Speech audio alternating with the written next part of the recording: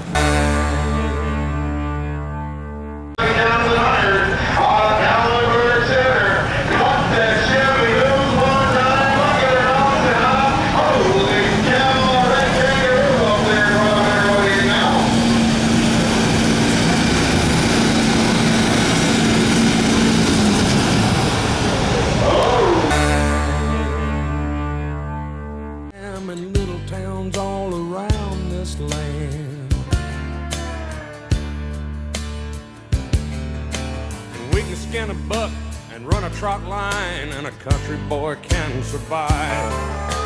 Country folks can survive.